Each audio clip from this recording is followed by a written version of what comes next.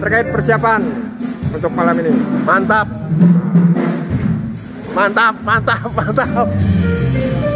Kita saksikan bersama sambutan dari perwakilan Departemen Musik Dewan Kesenian Jawa Timur kepada Saudara Abdu dipersilahkan.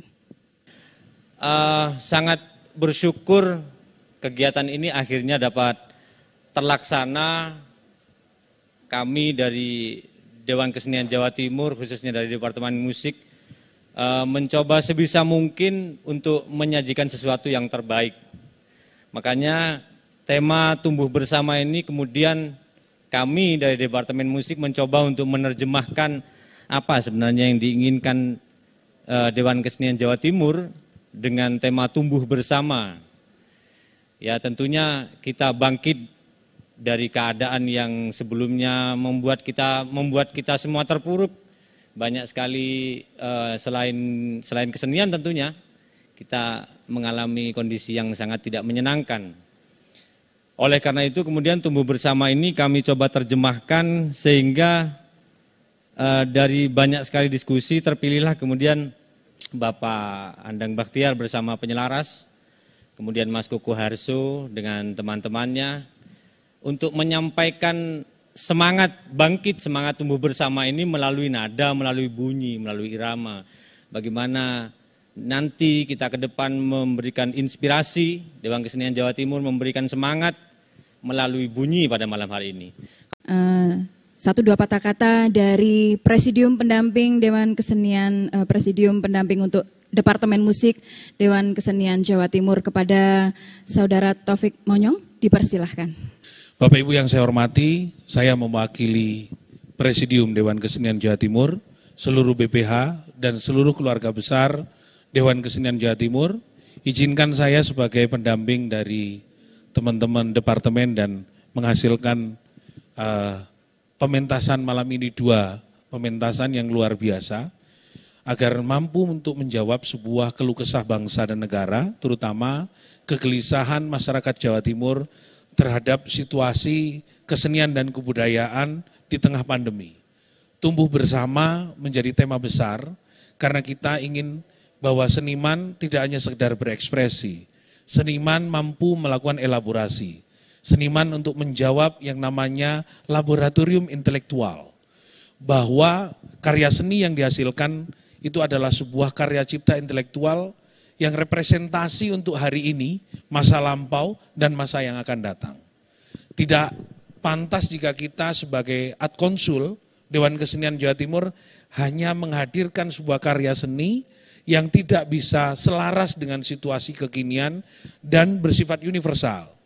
Sehingga ketika kita melihat gempa, bencana, longsor, lalu juga lahar di batu, kehadiran Dewan Kesenian Jawa Timur hari ini juga mampu menjawab tragedi kemanusiaan, tragedi alam dan tragedi dari peristiwa-peristiwa sebelumnya karena kita harus menjawab dengan aspek-aspek yang namanya kebudayaan.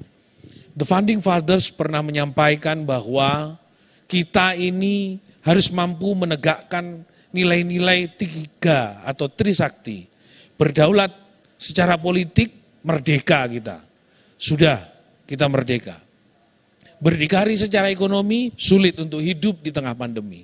Tapi berkepribadian di dalam kebudayaan adalah nilai yang paling mendasar. Apakah kebudayaan kita sudah mampu menjawab dengan situasi seperti ini? Nanti akan kita jawab dengan kesenian yang akan muncul pada malam hari ini. Tamu kita yang pertama adalah seorang uh, ahli bebatuan, ahli uh, bumi, gitu ya Pak. Kita sapa Bapak Andang Bahtiar. Halo Bapak. Oke, Pak Andang. Oke. Nah, ini kita sudah sampai pada lagu yang ketiga ini, Pak yang akan ditampilkan oleh teman-teman.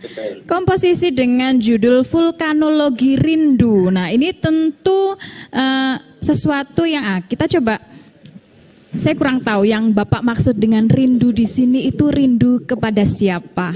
Nah, uh, bisa diceritakan Pak Andang. Ah, vulkanologi rindu. Di sini uh, puisinya tercipta pada tahun berapa? Uh, ada kejadian apa yang melatar belakangi puisi ini diciptakan, Pak? Silakan. Iya, jadi ini sekitar 2013 ya salah. 2018 ya Pak? Ini menceritakan tentang kekaguman saya terhadap ya, gunung api karena gunung api itu sifat fisiknya dan karakter prosesnya dan sebagainya itu supaya masyarakat paham walaupun dia berbahaya tapi dia itu indah Baik. dan kalau pengen tahu tentang gunung api yang kebanyakan di Indonesia umumnya adalah gunung api strato yaitu gunung api yang selang-seling antara lava tufa lava tufa lava tufa jadi lava itu yang meleleh tufa itu yang menyembur. Jadi kalau sering melihat gunung api itu kelihatan kalau semburannya sampai tinggi gitu ya 2 kilo 3 kilo itu menghasilkan tufa nah, kalau kelihatan wedus gembel terus ada merah-merah itu biasanya adalah lavanya baik di halo iya pak Ya, ya Pak jadi Anda. jadi itu saya bikin sembilan rupa supaya orang paham tentang karakter gunung api dan juga sebenarnya otomatis itu juga merupakan representasi dari apa ya? Jadi bisa diceritakan gunung api itu kayak kayak laki-laki dan perempuan juga. Jadi ada erotismenya juga gitu. Itu itu saya menyikapinya seperti itu karena saya merasakan indah sekali nih gunung api ini bagi percintaan laki-laki dan wanita meleleh, menyembur, meledak gitu ya. Jadi luar biasa. Saya ingin menceritakan kepada masyarakat coba nikmati ini gunung api, nikmati. Tapi banyak juga bahayanya gitu. Kalau kita nggak hati-hati dengan cinta kasih, dengan erotisme itu ya meledak, hancur semua. Siapa pun akan hancur gitu. Jadi kira-kira hmm. seperti itu. Iya, Jadi Bapak. ya Luar biasa. Gunung api rindu itu, vulkanologi rindu. Vulkanologi adalah ilmu yang pelajari gunung api. Rindu ya rindu gitu. Jadi okay. saya mengejawantahkannya sebagai rindu laki-laki wanita, rindu antara lava dengan tufa yang ingin selalu bergabung jadi satu seperti gunung-gunung api di Pulau Jawa apa di Indonesia. Kira-kira itu. Baik, luar biasa Pak Andang. Uh, kemudian sampai uh, puisi ini menjadi sebuah lagu, itu uh, diciptakannya tahun berapa Pak Andang? Uh, sampai jadi lagu itu 2020, okay. Desember itu yeah, dibikin yeah. di di Malang waktu saya cuti dari Paris, terus kita bikin sama-sama di situ. Uh, yang bikin liriknya saya, terus ada Retno juga bikin irama bluesnya, terus di, ditambahi sama anak-anak, sama Andika, sama Jalu, sama uh, Henry dengan berbagai macam uh, aransemen yang ada di situ. Jadilah itu lagu itu. Ya, luar biasa Pak Andang. Ngomong-ngomong tentang Bu Retno, apa Bu Retno sekarang sudah ada di samping Bapak? Ini dia, ini dia. Nah, okay. kedinginan juga. Ibu, berapa derajat ya. di sana Pak? Dingin sekali. Uh, berapa derajat ini ya? Uh, 14 sih, 12, 13, 14. Ya, selamat 14. sore, selamat siang Bu Retno. Sehat, uh, sehat ya Pak di sana ya Pak ya? Walaupun dengan cuaca yang uh, suhu yang dingin nih. Hmm. Luar biasa. Semoga nanti suatu saat bisa bertemu secara langsung di Malang ya Pak. Bu Retno. Insya Allah. Ya. Ya, uh, ya. Tentu ini sebuah um, apa uh, suasana yang menyenangkan ketika berkarya bersama pasangan gitu pak. Nah ini tentu bapak dan ibu tentu memiliki uh, passion yang sama di bidang musik. Tadi Bapak sempat mengatakan bahwa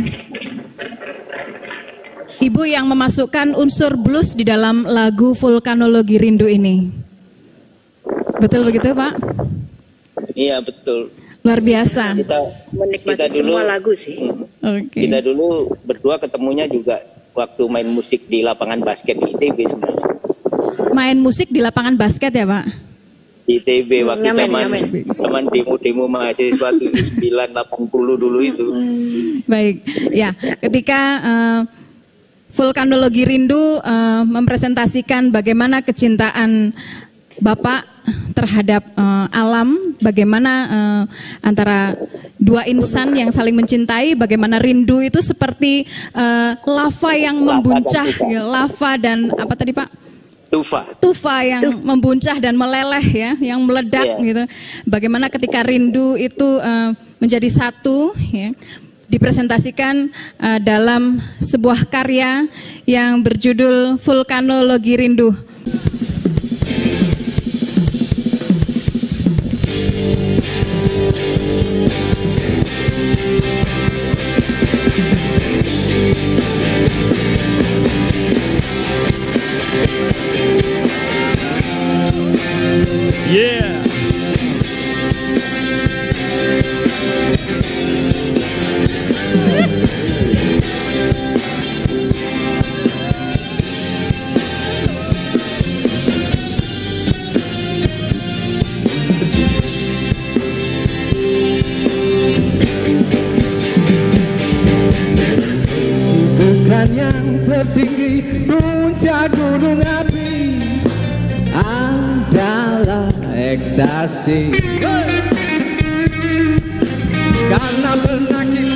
rasakan kedekatannya.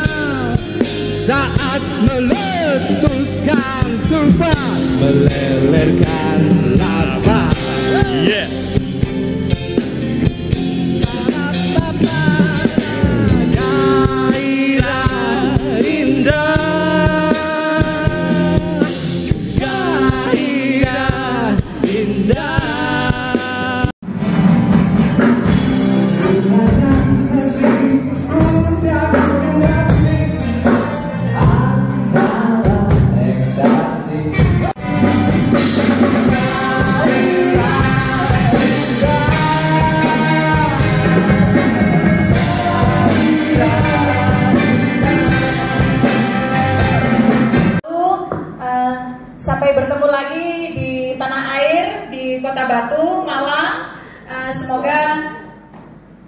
berikutnya dapat kita nikmati lagi lagu-lagu dengan eh, pesan-pesan uh, yang luar biasa yang tercipta oleh uh, apa yang Bapak lihat dari mungkin yang tidak sebagian dari kita lihat gitu ya Pak. Mungkin Bapak tahu lebih banyak dari yang orang tahu tentang apa yang harus kita jaga dari bumi kita. Terima kasih Pak Anda. Salam buat Bu sehat selalu. Wassalamualaikum warahmatullahi wabarakatuh. Sehat selalu Ibu. Ya. Uh, saya orang Batu asli, tinggal di Desa Ngagli. Saya merasa terhormat sebelumnya uh, dan selamat juga buat uh, Jatim Art Forum untuk kegiatannya yang mungkin berapa hari ya Mbak ya? Ini lima hari. Saya senang sekali spirit untuk mengakomodasi seniman dan uh, memberi ruang, memberi space seniman untuk berkreasi, khususnya seniman Jawa Timur. mungkin uh, untuk selanjutnya mungkin kegiatan ini bisa ini kegiatan annual ya Mbak ya? Iya, ini setiap tahun. Setiap tahun ya. Uh, yang sekarang konsepnya lebih ke hari ini kita uh, untuk tahun ini kita konsepnya adalah tumbuh bersama. Tumbuh bersama, ya. maju bersama ya. Maju bersama. Ya untuk hari ini saya sama teman-teman kebetulan saya tinggal di Bali, tapi saya sangat uh, concern sama teman-teman musik di Malang. Jadi sekarang saya sama teman-teman anak muda-muda